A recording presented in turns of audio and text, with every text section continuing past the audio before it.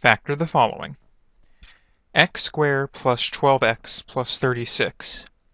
Alright, so we could factor this using trial and error like we've done in the past, but we want to also look for certain patterns in trinomials.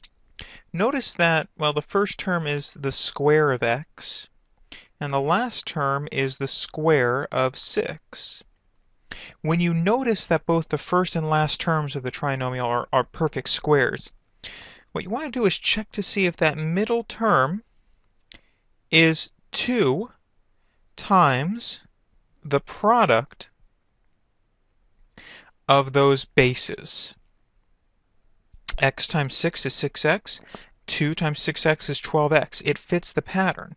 And so what that tells me is I can factor this as a square of a binomial containing x and 6.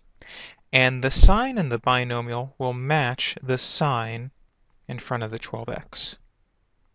So I can factor x squared plus 12x plus 36 as x plus 6 squared. Let's look at another one. 36a squared minus 60a plus 25. I notice that the first term is the square of 6a and the last term is the square of 5. So I check the middle term. Is it 2 times the product of 6a and 5? 6a times 5 is 30a. 30a times 2 is 60a.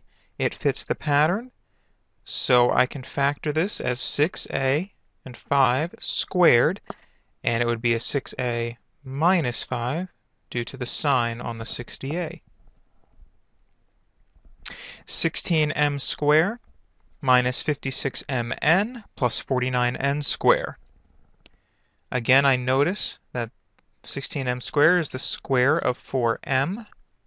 49n squared is the square of 7n. Checking the middle term. 2 times 4m times 7n. 4m times 7n is 28mn times 2 is 56mn.